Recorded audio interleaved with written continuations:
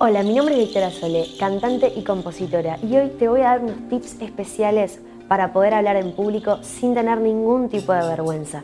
Esto puede darse en la escuela, en el liceo y hasta en la facultad. Quizás no te animes a poder alzar la voz en el medio de la clase con tantas personas, y eso es súper normal, pero yo te voy a dar unos consejos que te van a hacer poder alzar un poco más la voz y animarte a mostrarte tal cual sos. Mírate al espejo y decite que sos capaz de hacerlo. Aunque te parezca un poco tonto, realmente mirarnos al espejo y poder decirnos lo que somos, inconscientemente a tu ego eso le va a ayudar un montón para luego en el momento poder animarte a hacer las cosas que tanto tenés miedo de hacer.